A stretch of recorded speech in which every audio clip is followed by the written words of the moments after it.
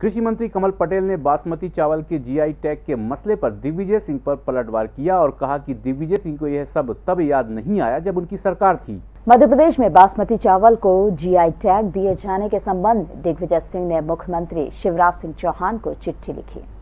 जिस पर मध्य प्रदेश के कृषि मंत्री कमल पटेल ने करारा हमला बोला और कहा, दिग्विजय सिंह को यह सब तब पंद्रह महीने याद नहीं आया जब उनकी सरकार थी। पटेल ने कहा, दिग्विजय सिंह को चिट्ठी लिखना है तो पंजाब के मुख्यमंत्री को लिखें। बहुत देरी से जगह है।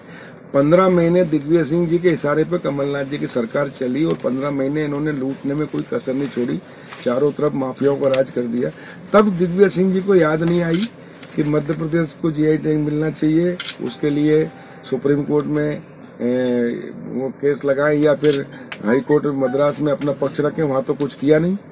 और पंजाब के कांग्रेस के ही मुख्यमंत्री जो मध्य प्रदेश का जीआई टैग ना मिले, इसके लिए प्रधानमंत्री जी को पत्र लिखा है।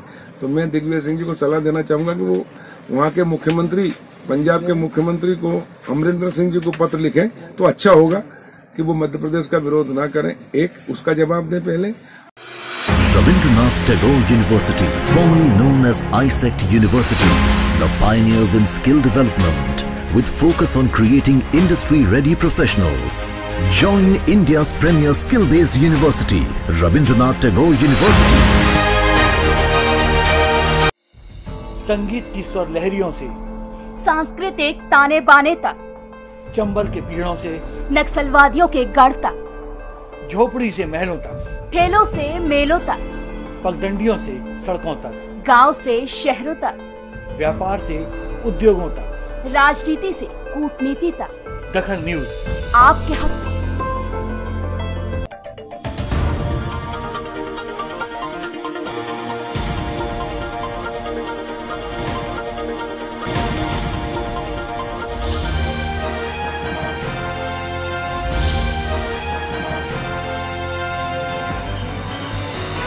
आप देख रहे हैं दखल न्यूज़।